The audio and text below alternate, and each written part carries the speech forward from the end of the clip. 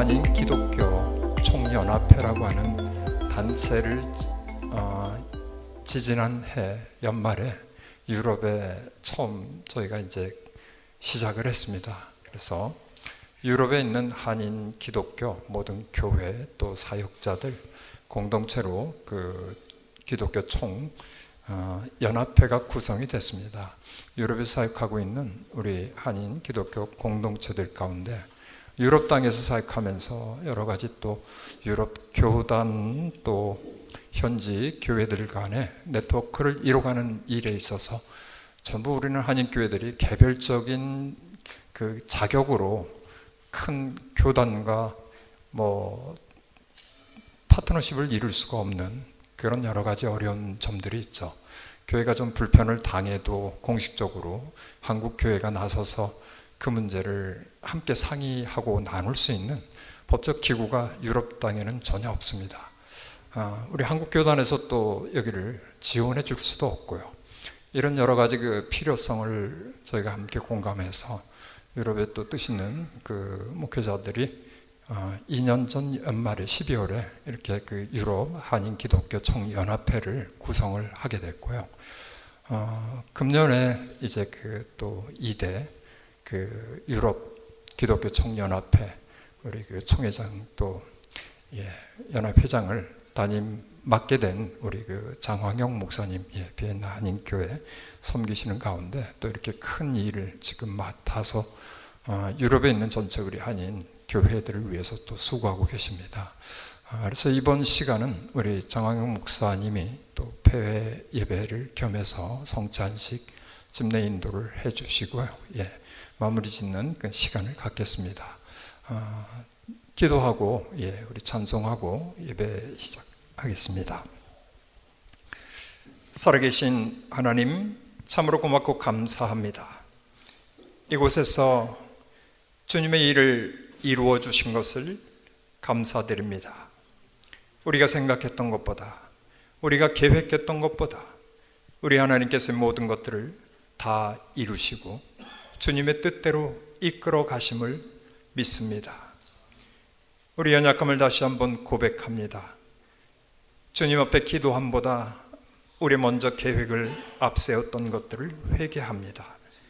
이제 다시 한번 주님께서 친히 성령으로 우리 앞에 나아갈 길을 밝히 보여주시고 인도해 주시고 주님의 나라를 이곳 유럽 땅에 우리의 사역지에서 가정에서 우리 모든 사역자들의 심장에서 이루어 가시는 것을 믿습니다. 이 시간에도 이제 이 모임을 마치고자 원합니다. 주님 오셔서 친히 이 자리에 임재하여 주시고 우리 모든 심령 심령 위에 예수 그리스도 안에서 우리가 다 함께 하나됨을 나누는 시간 되게 도와 주옵소서. 집내자와 또한 말씀 전하시는 목사님 위에 성령의 능력을 덧입혀 주시옵소서. 비둘기 같이 성령이 임하게 하여 주시옵소서. 마치는 시간까지 성삼위 하나님 홀로 영광 받아 주시기를 간절히 간구하며 예수 그리스도의 이름으로 기도하옵나이다. 아멘. 예. 우리 같이 찬송가 예, 함께 드리겠습니다.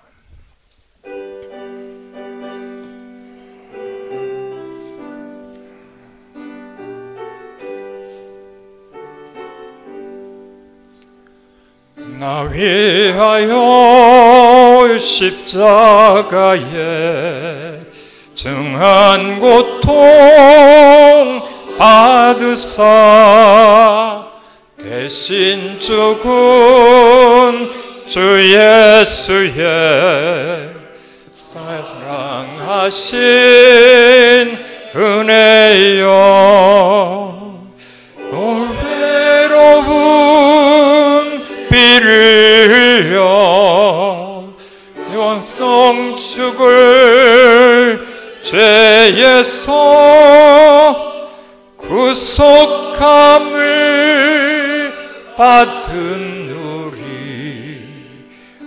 어찌 찬양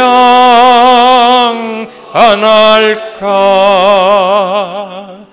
예수 안에 모이는 우리 한량 없이 즐겁고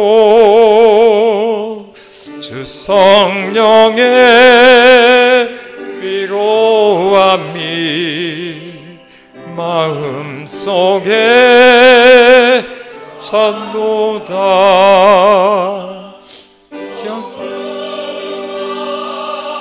소리 같은 은혜로운 그 말씀 끊임없이 듣는 찬양 안 할까? 이 세상에 멋진 풍파 쉬지 않고 불어도 주님 안에 보호받는 마음 변하다.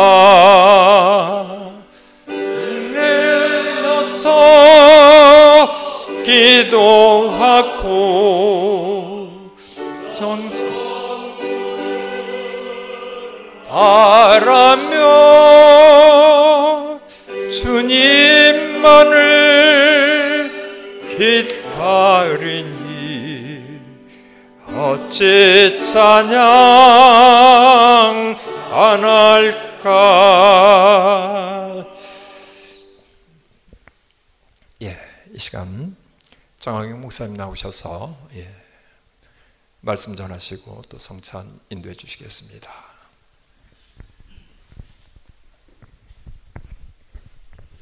할렐루야. 우리 사도행전 8장 보겠습니다.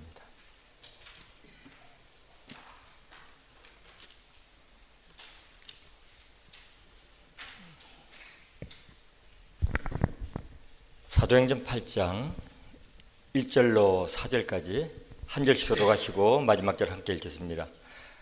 사울은 그가 죽임 당함을 마땅히 여기더라. 그날에 예루살렘에 있는 교회에 큰 박해가 있어 사도 외에는 다 유대와 사마리아 모든 땅으로 흩어지니라.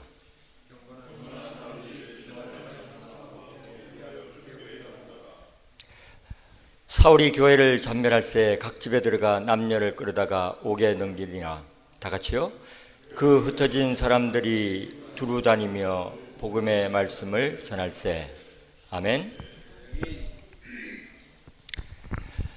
아, 우리 3박 4일 어, 짧다면 짧고 긴다면 긴 시간인데 너무나 첫 시간부터 어, 우리 조금 전까지의 시간까지 정말로 은혜가 있었고 또 배움의 시간이었고 특별히 또 우리 박 목사님 예, 오래전부터 말씀만 듣고 어, 그렇게 하다가 저는 개인적으로 박 목사님 만나는 목적도 아니 하나님 목적은 아니었지 먼저 여기에 순종하니까 하나님 주신 선물로 우리 박 목사님 만나게 해주시고 또 큰 은혜 주시고 또 반지까지 이렇게 받아가지고 네? 아무나 주는 반지가 아닌데 그래서 저는 선물을 받으면서도 이렇게 부담스럽게 받은 적이 없어요. 그래서 세 번을 사양하고 목사님 받으십시오 하는데 안 받으세요. 지금이라도 드리고 싶은데 지금은 꽉 껴갖고 안 빠지네요 이게. 네. 임자를 만난 것 같아요. 근데 이게 꽉 끼니까는 조금 답답함이 있는데 답답함이 있으니까는 기억을 하게 되고 기억을 하면서 뭡니까? 저분이 기도하셨듯이 아, 저도 기도자 학교를 하고 기도하라 그러고 어, 하루에 11조를 드리고 아니 더해서 3시간을 하고 이렇게 도전을 하고 있는데 해왔는데 부끄러우면서 제가 도전을 또 받았고 그게 말씀이 줄줄줄줄 나오는데 사람을 기죽이는 방법도 가지가지다. 은혜를 받아야 되는데 이게 기가 죽어가지고 세상에 어떻게 난 또 저런 분은 처음 봤네요. 그래서 아 어떻게 그렇게 암송하셨습니까? 그래서 개인적으로 여쭤보고 돌아가서 제가 아, 저는 또 똑같이는 못하겠습니다. 실천하려고. 어 그래. 그래서 부담이 됩니다. 아, 왜 나한테 이걸 주셨어요? 빠지지도 않고. 그렇게 은혜의 시간들 너무나 값지게 했는데 이제 마지막 우리가 성찬을 앞두고 또 제가 원한 게 아니라 본부 측에서 또 말씀까지 이렇게 부탁을 하셔서 어, 이게 부담이 돼요. 왜 부담이 되느냐 하면은 이 앞에 이렇게 다 은혜롭게 충만했는데 또 이게 디저트로 디저트가 맛이 없으면 그게 해가 되는 거고 음식을 잘 먹었는데 다른 한편 또 디저트가 너무 맛있으면은 앞에 게 또 희석이 돼서 아 이게 고민이 되는 거죠. 그래서 어떻게 할까 고민하다가 중간 수준에서 어, 없으면은 아쉽고 있으니까 오케이 해서 맛을 더해주는 그런 수준으로. 그래서 제가 사실은 원고를 준비해 가지고 다 했는데 또 다 원고 없이 하니까 저도 원고를 제끼고 앞에 거 아, 앞에 거 제가 원래 또 강한 게 이 서론 부분이 강한데 그걸 빼고 디저트가 너무 강하면 안 되니까는 예, 빼고 본론으로 탁 들어가겠습니다. 목사님 이 말씀 중에 성령 하나님은 한 분이세요. 아, 이렇게 만나지도 않고 이렇게 다 했는데 목사님이 그 핵심을 성경의 핵심을 하나님을 초점으로 해가지고 아, 그길 가기 위해서 기도하고 그냥 하면 안 되니까 기도 가운데 성령 안에서 기도하도록 아, 그렇게 해서 이제 전체 그림을 다 보여주셨습니다. 그래서 현재적인 하나님 나라를 누리고 그리고 임하는 하나님 나라를 대망하면서 나만 아니라 우리가 그리고 우리만 아니라 이방인들까지 이렇게 하도록 하는 메시지를 주셨습니다. 나무를 어, 숲을 다 보여 주셨습니다. 우리 그래서 천 큰 우리가 에, 뭡니까 에, 설교 도면일까요? 청사진을 보여 주셨어요. 그렇다면 저는 이제 에, 떨어진 그곳에서 어, 우리가 디아스포라로서 나무를 보고 나무에 오늘 본문을 중심으로 짧게 말씀드리고 싶습니다. 우리가 잘 아는 이 본문은 어, 저는 잘 알지만 이 본문을 통하여 세 가지 큰 충격을 받습니다. 첫 번째 충격은 이제 예루살렘 교회에 큰 박해가 일어나자 이들이 다 흩어졌다는 거예요. 자, 여러분 이 흩어졌다는 의미가 뭐겠습니까? 내가 가진 집도 포기하는 것입니다. 내가 가진 직장도 포기하는 것입니다. 나와의 유대 관계에 있던 정든 사람도 다 포기한 것입니다. 우린 유럽에 살기 때문에 비행기 타고 2시간 가면은 카타콤베에서 그것을 확인할 수가 있고 터키의 갑바도기에서 그랬던 성도들의 모습을 지금도 확인할 수가 있는 것입니다. 그들은 바퀴가 나왔을 때, 바퀴가 왔을 때 하나님이냐 세상이냐 거기에서 그들은 하나님, 복음, 예수님을 택하고 스스럼 없이 떠날 수 있다는 거예요. 이것이 첫 번째 충격입니다. 저는 오늘 우리들에게 이런 순간이, 선택의 순간이 왔을 때 정말로 모든 것을 다 뒤로 하고 떠날 사람이 얼마나 될까? 내가 목회하는 그 선교지에서 몇 명이 모이고 얼마나 많은 일을 하고 할렐루야 하나님이 하셨습니다. 그러나 한 걸음 더 나아가서 이런 선택의 기준이 왔을 때 순간이 왔을 때 정말로 얼마나 떠날 수가 있는가 저를 포함해서 근데 성경에서는 그들이 받았던 복음 그들이 믿었던 예수님은 사뭇 우리와 다르다 하는 그런 생각을 갖게 되는 것입니다. 두 번째 충격입니다. 본문을 보니까는 뭐 읽고 확인하려 그러는데 우리 다 알지 않습니까? 이들이 가가지고 1차적으로 자기가 거할 터전을 구했다, 집 구하러 다녔다, 직업을 구하러 다녔다, 이런 이야기가 나오지 않습니다. 보니까는 뭐라고 되어 있습니까? 복음을 전했다는 것입니다. 우리 한국에 한국어 성경은 전할세 이렇게 끝나지만 영어, 독일어, 원어 이건 전부 전했더라가 됩니다. 그리고 5절부터 그 가운데 원어브 댐 하나 가운데 빌립을 클로즈업 시킨 거죠. 아, 그리고 그가 가는 데서 하나님 나라가 임한 우리 목사님 말씀하셨듯이 기쁨이 충만한 성령 안에서 아, 놀라운 역사가 일어나는 거죠. 귀신이 쫓겨나고 병든 자가 치유되고 왜 하나님 나라에는 병든 자 아픈 것이 죽음이나 곡하는 것이 없기 때문이죠. 네. 역사가 일어났어요. 이게 복음의 능력이고 복음 안에 성령의 능력이 다 포함된 것이죠. 이게 두 번째 충격이에요.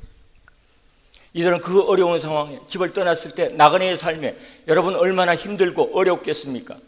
불편함이 있고 부족함이 얼마나 많았겠습니까? 그러나 그들은 일차적으로 생존을 위하여 살아가지 아니하고 사명을 위하여 복음을 위하여 살았다는 것입니다. 저는 우리 교회에서 지난주에도 그랬습니다.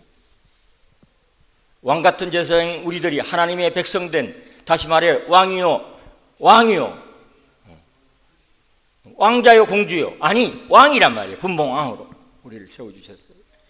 그런데 무엇을 먹을까 마실까 입을까에 초점 맞추고 얼마나 누릴까? 여러분 거지 생활하는 것입니다. 인생을 낭비하는 것입니다. 자 그렇게 초대교회 성도들은 그렇게 하지 않았습니다 이것이 두 번째 충격입니다 세 번째 충격입니다 본문을 읽고 계속해서 나아가다 보니까 이들이 굶어 죽었다? 그런 얘기 하나도 없습니다. 망했다? 실패했다? 그런 게 없습니다. 제가 성교신학을 THM에 전공했는데 성경학자들 보니까는 우리가 누가와 함께 했던 사도 바울을 누가, 누가가 했잖아요. 누가에 의해서 사도행전이 기록된 거 아니겠습니까? 그렇기 때문에 거기에 초점이 맞춰져 있는 거예요. 그러나 여러분, 복음이 땅 끝까지 증거된 것은 이름 없는 평신도들에 의해서 증거된 것입니다. 그들은 복음을 듣고 성령 받은 무리들이었던 것이죠. 아, 그렇게 전해졌습니다. 이들은 굶어 죽지 않고 이들을 통해서 어떻게 했습니까? 교회가 세워졌다는 것입니다. 하나님 나라가 현재적으로 임하게 되었다는 것입니다. 누구를 통하여? 흩어진 자들을 통하여. 이것이 세 번째 받는 충격이라는 것입니다. 자, 어떻게 이것이 가능했을까요? 이들은 모두가 다 성령의 충만함을 받았기 때문입니다. 저는 초대교회를 연구했습니다. 아, 논문에도 그렇게 썼고요.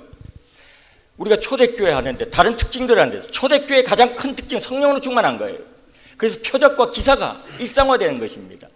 그러니까 보이는 복음 앞에 그들이 막 꼬꾸라진 것입니다. 이들은 불 붙는 장작처럼 핍박이 오자 어떻게 합니까? 불을 끄고 숨는 게 아니었습니다. 그냥 치니까 어떻습니까? 그냥 다 흩어져 버린 거예요. 그러나 그들에게 불이 있었기 때문에 가는 곳마다 불을 붙이게 되었던 것이죠. 거기에 교회가 세워졌어요. 그게 회심의 역사가 일어난 겁니다. 그게 빌립이었고, 어, 그리고 이름 없는 뭐 구브로로 뭐 뭐뭐이 번이계로 이렇게 흩어진 또 이게 디아 어디죠? 키프로 그걸 뭐라고 돼 있죠? 예, 구브로죠. 예. 흩어진 무리를 통하여 어떻게 교회들이 세워졌어요. 대표적인 교회가 안디옥 교회였습니다. 여기서 흩어져 흩어졌다 이 동사가 헬라어로 디아스페이로입니다. 이 디아스페이로는 농부가 씨앗을 흩는 것입니다. 여기서 디아스포라 명사가 나왔습니다. 흩어진 자들이 어떤 이유든 본문에 의하면 의해 흩어졌습니다. 참 의미가 있습니다. 다시 말해서 농부의 손에 흩어진 씨앗들처럼 하나님의 손에 전능자의 손에 붙들려 가지고 하나님께서 흩으셨다는 것이죠. 초대교회 성도들의 위대함은 하나님의 이 흩으심에 순종을 했습니다. 순종하고 핍박을 통하여 그들은 놓치고 있었던 우리끼리만의 교회 속에서 사랑을 나누고 교제하고 그게 만족하다가 본래적 사명을 놓쳤습니다. 땅 끝까지 가라는 선교적 사명을 잃었던 것이죠. 그것을 깨닫게 되었습니다. 그리고 그 사명에 이제 예, 초점을 맞추고 핍박을 통하여 살게 되었습니다. 그래서 그들은 모두가 다 아, 이름은 여기 기록되어 있지만 있지 않지만은 하나님의 생명책 행위책에는 기록이 되어서 영원한 승리 빛나는 아, 정말로 멸류관을 얻는 삶을 살게 되었다는 것이죠. 오늘 이 본문이 저와 여러분들에게 디아스포라 차세대 포럼을 마치는 이때에 저와 여러분에게 주시는 메시지가 있다면 무엇이겠습니까? 저와 여러분들은 하나님께서 흩으신 씨앗들이라는 것이죠. 아, 디아스포라들입니다. 왜 이 시대에 우리는 유럽에 있습니까? 왜 특별히 여러분 독일에 계시고 프랑스에 계시고 헝가리에 계시고 왜 오스트리아에 계시고 그 다음 또 어느 나라예요?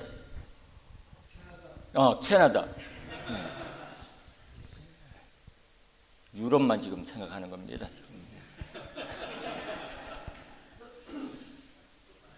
그리고 왜 그 도시에 계십니까? 하나님의 특별한 뜻이 있는 것이죠. 지상명령은 모두에게 동일하지만은 우리 각자를 통하여 지상명령을 이루시는 방법과 주님이 이루시는 목표는 다르신, 다른 겁니다. 나를 향하신, 내가 섬기는 교회를 향하신 하나님의 뜻, 그것을 발견하는 것이 비전인 것이죠. 하나님이, 비전은 하나님 주시는 것입니다. 조지 바나가 비전의 특징 가운데 하나가 비전은 인간의 힘과 노력으로 결단으로 이룰 수 없는 겁니다. 네. 오직 하나님이 주시는 능력으로 지혜로 힘으로 자원으로 할 수 있는 것입니다. 네. 그리고 우리 비전이 있는 인생은 대단한 인생들이에요. 왜? 불가능을 가능케 하는 인생들이기 때문에. 네. 그 비전을 이루기 위해서는 우리의 힘과 능력이 아니기 때문에 오직 성령의 능력을 덧입어야 되는 것입니다. 그래서 기도해야 되는 것이고 성령의 충만함을 구해야 되는 것이고 그래서 찰스 피니는 가장 큰 죄는 성령 충만함을 구하지 않는 죄다. 왜? 이유는 성령 충만하다면 이룰 수 있는 그 많은 일들 하나님은 계획하신 거예요. 근데 성령 충만하지 못하기 때문에 이루지 못한다는 것입니다. 구해도 좋고 구하지 않아도 좋은 게 아니라 반드시 구해야 돼요. 만약 우리가 성령에 충만하여 주님의 이끌림을 받고 성령님이 함께 하시는 목회가 되고 선교가 되고 그리고 그런 삶이 된다면 내 자신 속에서 천국이 이루어지는 것이고 가정에서 교회에서 가는 곳마다 천국을 우리는 가지고 가는 사람들인 것입니다. 축복의 통로들이 된다는 것입니다. 하나님께서 그렇게 하나님 나라 천국에 초점을 맞추고 먼저 구하고 나아갈 때 나머지 모든 것들 생존에 필요한 모든 것들 사역에 필요한 모든 것들을 덤으로 더하여 주시는 것입니다.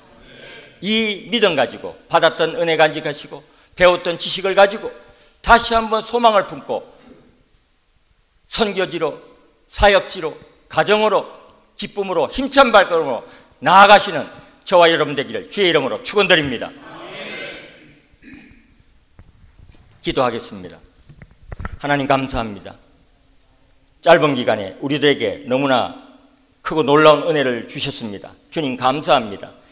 이제 하나님 주신 그 은혜 깊이 마음에 새기면서 실천함으로 삶 속에서 그대로 드러나고 맡겨주신 목양지가 하나님 나라가 세워지고 하나님 나라가 교회를 통하여 가정을 통하여 나를 통하여 확장되는 은혜 역사 승전보가 있게 도와주시옵소서. 감사합니다. 예수님의 이름으로 기도합니다. 아멘 우리 이어서 성찬식 하겠습니다.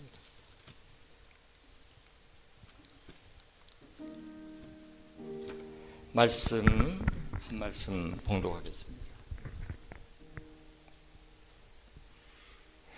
내가 너에게 전한 것은 죽게 받은 것이니 곧 주 예수께서 잡히던 밤에 떡을 가지사 축사하시고 떼어 이르시되 이것은 너희를 위하는 내 몸이니 이것을 행하여 나를 기념하라 하시고 식후에 또한 그와 같이 잔을 가지시고 이르시되 이 잔은 내 피로 세운 새 언약이니 이것을 행하여, 행하여 마실 때마다 나를 기념하라 하셨으니 너희가 이 떡을 먹으며 이 잔을 마실 때마다 주의 죽으심을 그가 오실 때까지 전하는 것이니라. 아멘.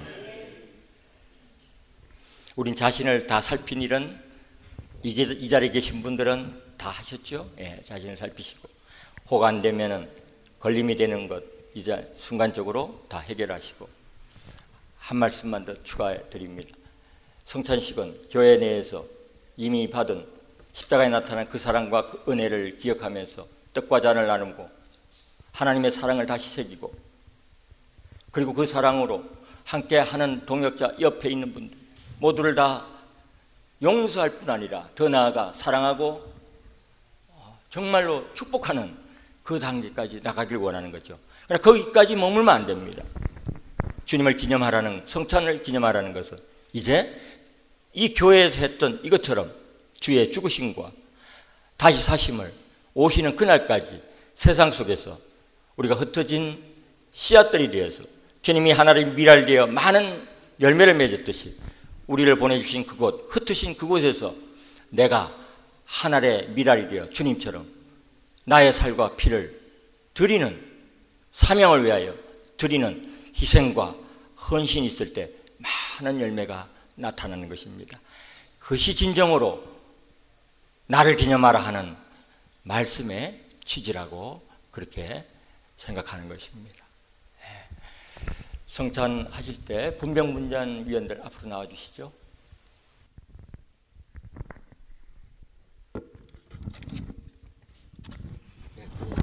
치워주시고 암호음도 아까 3절까지 했죠? 네, 4절, 5절 준비하는 동안에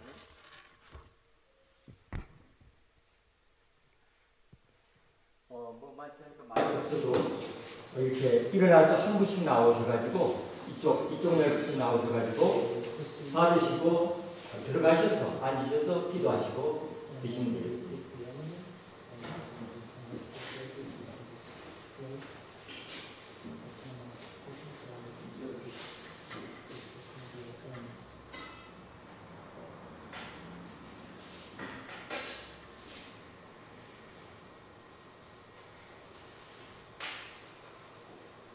저는 우리 신기하지만은 그러나 감사하고 우리 감사하고 또 기쁨으로 가는 것이죠. 네. 이미 주님은 승리하셨습니다. 아멘. 네. 우리도 승리할 것입니다. 아멘. 네. 세상에 발랄하는 담대하라. 내가 세상을 이겨노라. 아, 네. 말씀하셨습니다. 이 이긴 승리의 싸움을 우리는 나가는 것입니다. 사랑하는 주님께서 잡히시는 날 밤이었습니다. 주님은 어, 사랑하는 제자들과 마지막 만찬을 가지셨습니다. 그때 주님은 떡을 들어 감사기도 하시면서 떼어주시며 말씀하십니다. 이것은 너희를 위한 나의 몸이다. 이것을 먹을 때마다 나를 기념하라 말씀하셨습니다. 또 주님은 잔을 들어 감사기도 하시고 따라주시면서 말씀하셨습니다. 이 잔은 내 피로 너희와 나 사이에서 새 언약의 피다. 이것을 마실 때마다 나를 기념하라 말씀하셨습니다. 이 떡과 아, 또이 잔을 먹고 마실 때 주님이 우리와 함께 하심을 확인하게 되고 그 사랑을 확인하며 내가 어떤 부족함, 잘못 연약함이 있을지라도 주님은 그대로 용납하신다는 사랑을 확신하시고 주님과, 주님과 깊은 영적 하시고 받은 그 사랑으로 함께하는 이웃을 그 사랑으로 나눠주는 저와 여러분들 되길 바랍니다. 기도하겠습니다. 주님 감사합니다. 부족한 저희들을 위하여 나를 위하여 주님 그 고귀한 살이 몸이 찢기시고 피를 흘리셨습니다. 주님 죄송합니다. 감사합니다. 그 피와 살을 먹고 마시겠습니다. 성령 하나님 함께 하심으로 그 피와 살이 나에게 소생하는 생명력이 되게 하시고 또한 사랑의 불이 되게 하시고 주님을 향한 또 헌신하는 헌신의 불이 되게 하시며 또 복음 명령에 순종하는 세상 속에서 주님을 기념하는 능력에 불이 되게 도와주시옵소서. 감사합니다. 예수님의 이름으로 기도합니다. 아멘.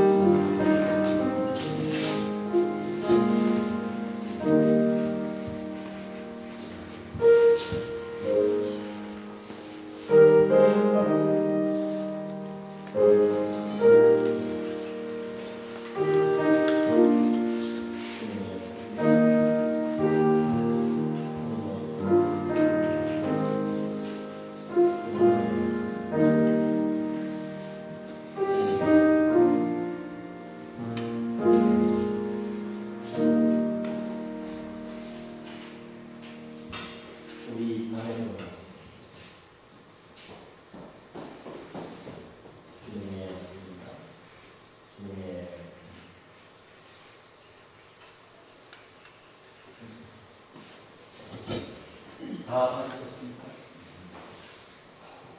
우리 주님은 세달과 만찬을 마친 후 어, 마친 후 찬미하시며 강릉산으로 가셨습니다. 우리 다 같이 일어나셔서 찬송 403장으로 나 위하여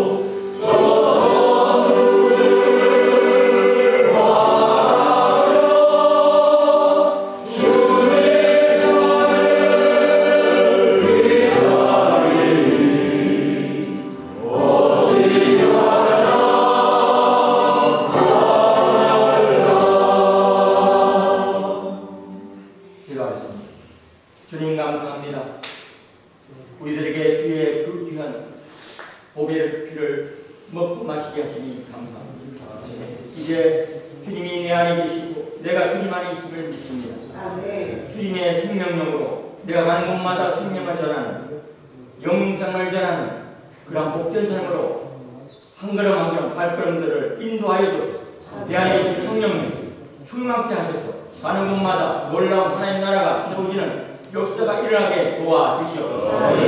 감사와 찬송과 영광을 올려드립니다. 지금 우리 주 예수 그리스도의 놀라우신 은혜와 하나님 아버지의 크신 사랑하십니다 보혜사 성령님의 감동과 마음교통 충만하십니다 주님 앞에 다시 한번 결단하고 주님이 승리하신 그 승리를 확신하면서 힘들고 어려워도 꾸겨진 그곳에서 기쁨과 감사함으로 모든 사명 잘 감당하리라 소원하고 다짐하며 돌아가는 주여 귀한 남녀 여종들 머리에와 사역지혜와 가정과 그 나라 위에 지금부터 영원까지 함께 하시기를 간절히 축원하옵나이다